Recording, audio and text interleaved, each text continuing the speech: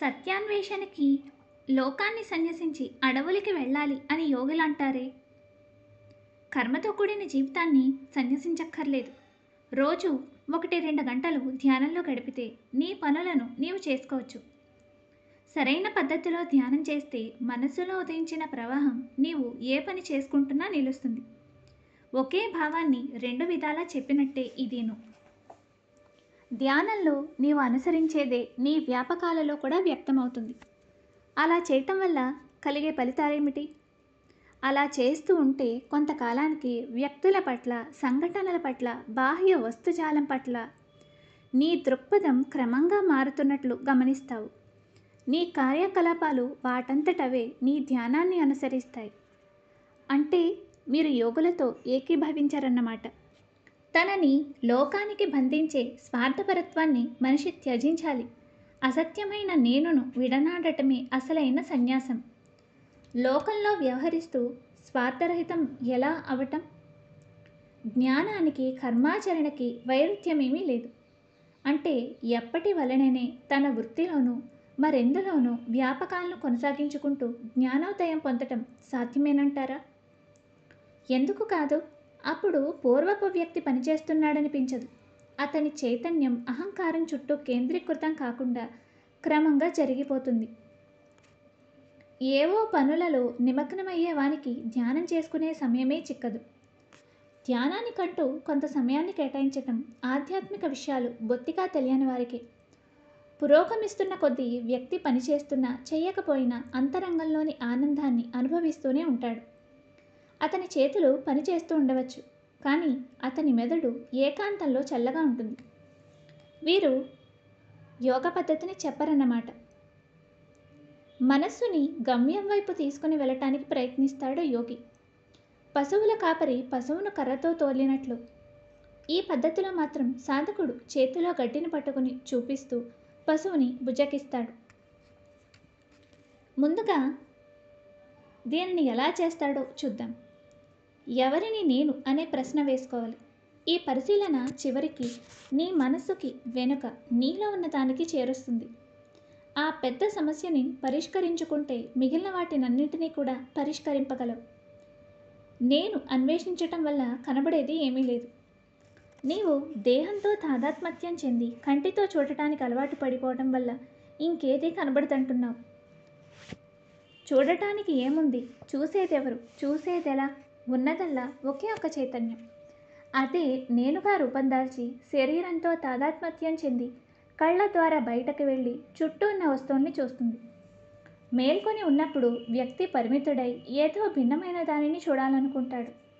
ఇంద్రియాల సాక్ష్యమే తిరుగులేని ఆధారం అనుకుంటాడు. కానీ ద్రష్ట దృశ్యం దృక్కు అన్నీ నేను. నేను అనే ఒకే ఒక చైతన్యానికి భిన్న రూపాలని ఒప్పుకోడు. ఆత్మ దృగ్గోచరమని భ్రమని చింతన తొలగిస్తుంది. నిజానికి దృశ్యమానమైనదేదీ లేదు. ఇప్పుడు నేను అనేదాన్ని ఎలా అనుభవిస్తున్నావు? నీ గురించి తెలుసుకోవటానికి ఎదురుగా అద్దాన్ని పట్టుకుని ఉన్నావా? ఎరుకే నేను అంటే దానిని గ్రహించు. అదే సత్యం. ఆలోచనల మూలం గురించి చేసే విచారణ వల్ల నేను అనే దాని గురించి ఒక ఎరుక కలుగుతుంది. కానీ అది నాకు సంతృప్తినివ్వటం లేదు. నిజమే. నేను అంటే కలిగిన ఎరుక ఏదో ఒక రూపంలో బహుశా దేహంతో కూడి ఉంటుంది. శుద్ధ ఆత్మ దేనితోనూ చెత్తకూడదు ఆత్మ ఒంటరి పరిశుద్ధమైన యథార్థం. దాని కాంతిలోనే దేహం అహంకారం మెరుస్తాయి. అన్ని భావాలని అణిచివేసిన తర్వాత మిగిలేదల్లా శుద్ధ చైతన్యమే. నిద్ర నుండి మేల్కొన్న వెంటనే ఇంకా ప్రపంచాన్ని ఎరగక ముందు ఆ స్వచ్ఛమైన అహం ఉంటుంది. నిద్రపోకుండా ఆలోచనలు నిన్ను చుట్టముట్టకుండా దానిని విడవక పట్టుకొని ఉండు. దానిని గట్టిగా పట్టుకుని ఉంటే ప్రపంచాన్ని చూసినా పర్వాలేదు. బయట కనపడే దృశ్యం వల్ల ద్రష్ట ఏమీ ప్రభావితుడు కాడు. అహంకారం ఏమిటి? విచారించు. శరీరం అచేతనం. నేను అనలేదు. ఆత్మ శుద్ధ చైతన్యం. రూపాంతరం లేనిది. నేను అని అది అనలేదు. గాఢ నిద్రలో నేను అని ఎవ్వరు అనరు. అయితే అహంకారం ఏమిటి? అచేతనమైన దేహానికి ఆత్మకి నడుమ ఉండేది. దానికి అస్తిత్వం అంటూ ఏమీ లేదు. దానిని అన్వేషించబోతే భూతం వలె మాయమైపోతుంది. చీకట్లో నీడ కదలిక వల్ల తన పక్కనే భూతముందని ఎవరైనా అనుకోవచ్చు. పరీక్షగా చూస్తే అక్కడ నిజానికి భూతమే లేదని తాను భూతమని కల్పన చేసుకున్నది ఏ చెట్టో కర్రో అని గ్రహిస్తాడు. అతనలా పరీక్షగా చూడకపోతే ఆ భూతం అతనిని భయపెడుతుంది. చేయవలసిందల్లా నిశితంగా పరీక్షించటమే. భూతం మాయమవుతుంది. అసలు భూతం అక్కడ ఎప్పుడూ లేనేలేదు అహంకారం కూడా అంతే. దేహానికి శుద్ధ చైతన్యానికి నడుమ అగోచరమైన లంకె అది. అది వాస్తవం కాదు. దానిని పరీక్షగా గమనించినంత వరకు అది బాధ పెడుతూనే ఉంటుంది. కానీ దానికోసం వెతకడం ప్రారంభిస్తే అది లేనే లేదని తెలుస్తుంది. దీనిని వివరించటానికి ఒక కథ ఉంది. హిందువుల పెళ్ళిలలో విందులు ఐదారు రోజుల దాకా కొనసాగుతుంటాయి. వాటిల్లో ఒక సందర్భంలో ఎవరో అపరిచిత వ్యక్తిని ఎంతో ముఖ్యుడనుకుంటూ ఆడపెళ్ళివారు అతనికి ప్రత్యేకమైన మర్యాదలు చేశారు.